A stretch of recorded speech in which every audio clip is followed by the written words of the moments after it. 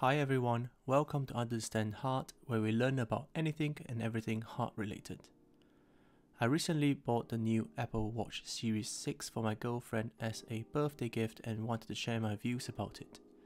As a cardiologist and researcher interested in technology, the different health related features of the latest Apple Watch is definitely moving remote monitoring in the right direction.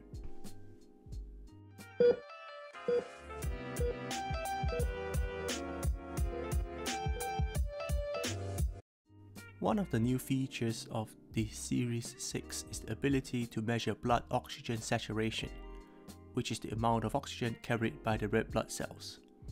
This is similar to the finger oxygen probes which we have in the hospital.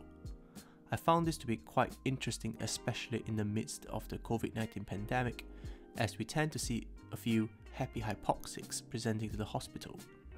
These are patients with severe COVID-19 infection and very low oxygen saturations but appears to be unaware of it.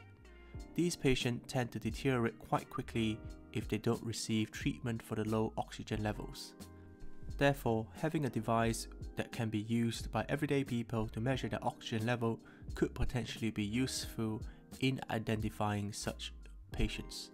Of course, it shouldn't be used to provide false reassurance and if you have symptoms, you should still seek medical attention.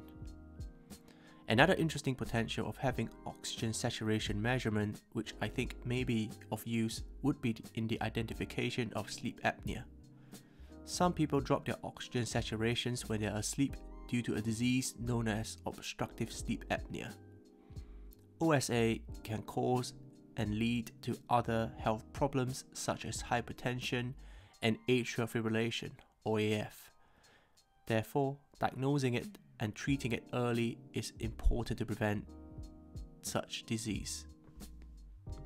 I'm not sure how reliable the measurement would be with the Apple Watch, but hopefully this will improve in the future iterations and allow earlier detection of such disease.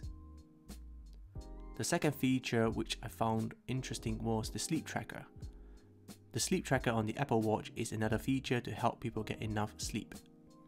You can set your bedtime and the watch will be able to track when you fall asleep and when you wake up, including a wind down routine to help you get to sleep. The sleep history function lets you look back and may be useful to find out why your sleep was not as good on a particular day.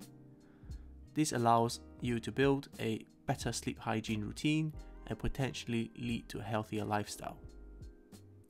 Lastly, of course, the most exciting feature of the Apple Watch would be the heart rhythm monitor and ECG feature.